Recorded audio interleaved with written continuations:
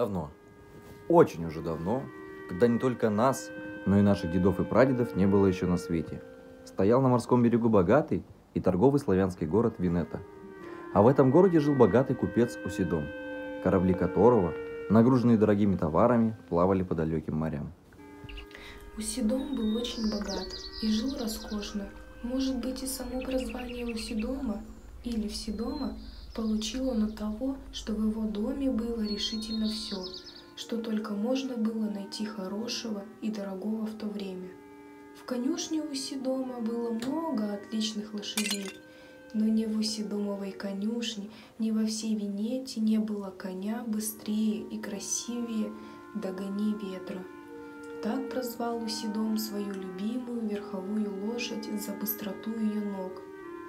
Случилось купцу в одну из своих поездок по торговым делам, возвращаясь в Венету, проезжать через большой и темный лес.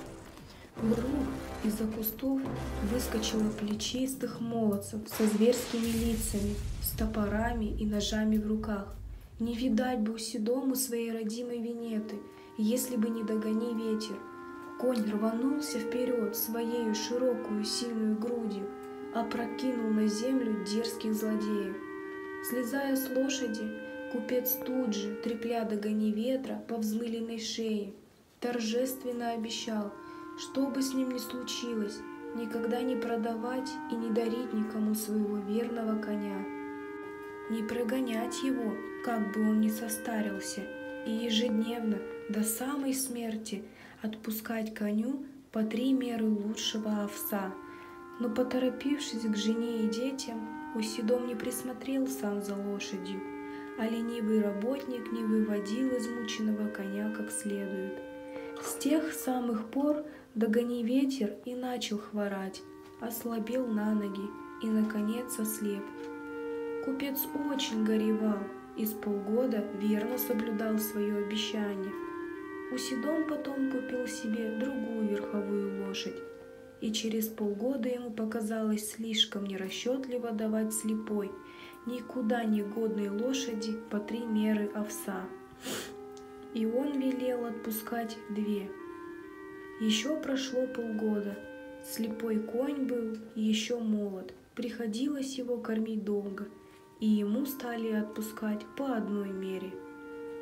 Наконец это показалось купцу тяжко, и он велел снять с догони ветра узду и выгнать его за ворота, чтобы не занимал напрасно место в конюшне.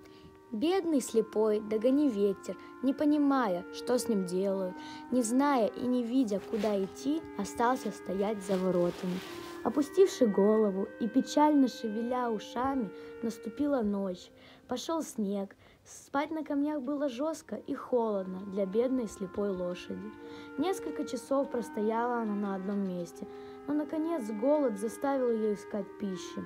Поднявши голову, нюхая в воздухе, не попадется ли где-нибудь хоть клок соломы со старой, осунувшейся крыши, брела на удачу слепая лошадь и натыкалась беспрестанно то на угол дома, то на забор. Надобно вам знать, что в Венете, как и во всех старинных славянских городах, не было князя, а жители города управлялись сами собою, собираясь на площадь, когда нужно было решать какие-нибудь важные дела.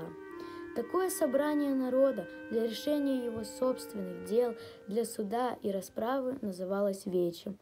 Посреди Венеты, на площади, где собиралась вече, висел на четырех столбах большой вечевой колокол – по звону которого собирался народ и который мог звонить каждый, кто считал себя обиженным и требовал от народа суда и защиты.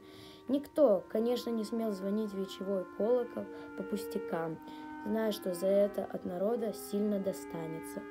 Бродя по площади, слепая, глухая и голодная лошадь случайно набрела на столбы, на которых висел колокол и, думая, быть может, вытащить из стрихи пучок соломы, схватила зубами за веревку, привязанную к языку колокола, и стала дергать. Колокол зазвонил так сильно, что народ, несмотря на то, что было еще рано, толпами стал сбегаться на площадь, желая знать, кто-то громко требует его суда и защиты. Все в Венете знали Догони ветра, знали, что он спас жизнь своему хозяину, знали обещания хозяина и удивились, увидя посреди площади бедного коня, слепого, голодного, дрожащего от стужи, покрытого снегом. Скоро объяснилось, в чем дело, и когда народ узнал, что богатый Седом выгнал из дома слепую лошадь, спасшую ему жизнь, то единодушно решили, что Догони ветер имел полное право звонить вечевой колокол. Потребовали на площадь неблагодарного купца и, несмотря на его оправдание, приказали ему содержать лошадь по-прежнему и кормить ее до самой смерти.